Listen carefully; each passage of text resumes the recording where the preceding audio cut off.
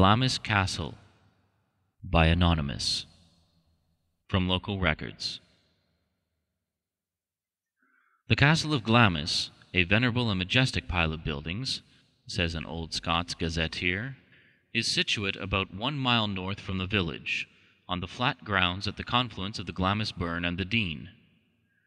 There is a print of it given by Slezer in Charles II's reign, by which it appears to have been anciently much more extensive, being a large quadrangular mass of buildings, having two courts in front, with a tower in each, and gateway through below them.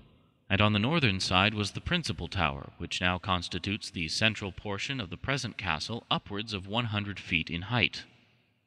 The building received the addition of a tower, in one of its angles, for a spiral staircase from bottom to top, with conical roofs.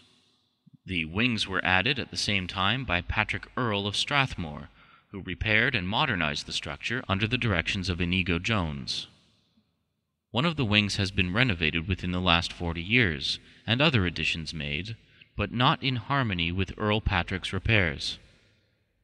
There is also a secret room in it, only known to two or at most three individuals at the same time, who are bound not to reveal it unless to their successors in the secret. It has frequently been the object of search with the inquisitive, but the search has been in vain. There are no records of the castle prior to the tenth century, when it is first noticed in connection with the death of Malcolm II in 1034. Tradition says that he was murdered in this castle, and in a room which is still pointed out, in the center of the principal tower, and that the murderers lost their way in the darkness of the night, and by the breaking of the ice were drowned in the Loch of Forfar. Fordoun's account is, however, somewhat different and more probable. He states that the king was mortally wounded in a skirmish in the neighborhood by some of the adherents of Kenneth V. Let us turn now to the ghosts of Glamis Castle. A lady well known in London society, an artistic and social celebrity, wealthy beyond all doubts of the future, a cultivated, clear headed, and indeed slightly matter of fact woman, went to stay at Glamis Castle for the first time. She was allotted very handsome apartments, just on the point of junction between the new buildings, perhaps a hundred or two hundred years old, and the very ancient part of the castle. The rooms were handsomely furnished. No gaunt carvings grinned from the walls, no grim tapestry swung to and fro, making strange figures look still stranger by the flickering firelight. All was smooth, cozy, and modern, and the guest retired to bed without a thought of the mysteries of Glamis.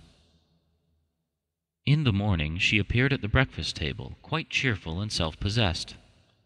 To the inquiry how she had slept, she replied, Well, thanks, very well, up to four o'clock in the morning. But your Scottish carpenters seem to come to work very early. I suppose they put up their scaffolding quickly, though, for they are quiet now. This speech produced a dead silence, and the speaker saw with astonishment that the faces of members of the family were very pale. She was asked, as she valued the friendship of all there, never to speak to them on that subject again. There had been no carpenters at Glamis Castle for months past. This fact, whatever it may be worth, is absolutely established, so far as the testimony of a single witness can establish anything. The lady was awakened by a loud knocking and hammering, as if somebody were putting up a scaffold, and the noise did not alarm her in the least. On the contrary, she took it for an accident, due to the presumed matutinal habits of the people. She knew, of course, that there were stories about Glamis, but had not the remotest idea that the hammering she had heard was connected with any story. She had regarded it simply as an annoyance, and was glad to get to sleep after an unrestful time, but had no notion of the noise being supernatural until informed of it at the breakfast table. With what particular event in the stormy annals of the Lyon family the hammering is connected is quite unknown, except to members of the family. But there is no lack of legends, possible and impossible, to account for any sights or sounds in the magnificent old feudal edifice. It is said that once a visitor stayed at Glamis Castle for a few days, and, sitting up late one moonlight night, saw a face appear at the window opposite to him. The owner of the face, it was very pale, with great sorrowful eyes, appeared to wish to attract attention, but vanished suddenly from the window, as if plucked suddenly away by superior strength. For a long while the horror stricken guest gazed at the window in the hope that the pale face and great sad eyes would appear again. Nothing was seen at the window, but presently horrible shrieks penetrated even the thick walls of the castle and rent the night air. An hour later, a dark, huddled figure like that of an old, decrepit woman, carrying something in a bundle, came into the waning moonlight, and presently vanished. There is a modern story of a stonemason who was engaged at Glamis Castle last century and who, having discovered more than he should have done, was supplied with a handsome competency, upon the conditions that he emigrated and kept inviolable the secret he had learned. The employment of a stonemason is explained by the conditions under which the mystery is revealed to successive heirs and factors. The abode of the dread secret is in part of the castle, also haunted by the apparition of a bearded man, who flits about at night, but without committing any other objectionable action. What connection, if any, the bearded spectre may have with the mystery is not even guessed. He hovers at night over the couches of children for an instant, and then vanishes.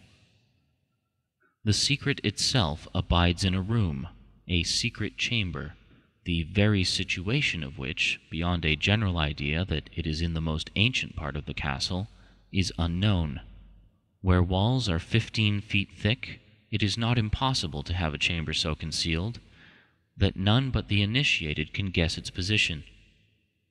It was once attempted by a madcap party of guests to discover the locality of the secret chamber by hanging their towels out of the window, and thus deciding in favor of any window from which no spotless banner waved. But this escapade, which is said to have been ill received by the owners, ended in nothing but a vague conclusion that the old square tower must be the spot sought.